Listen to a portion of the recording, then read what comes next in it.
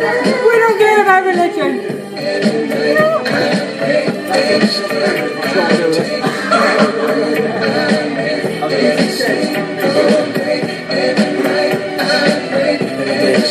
As 18 chairs. They- Three good.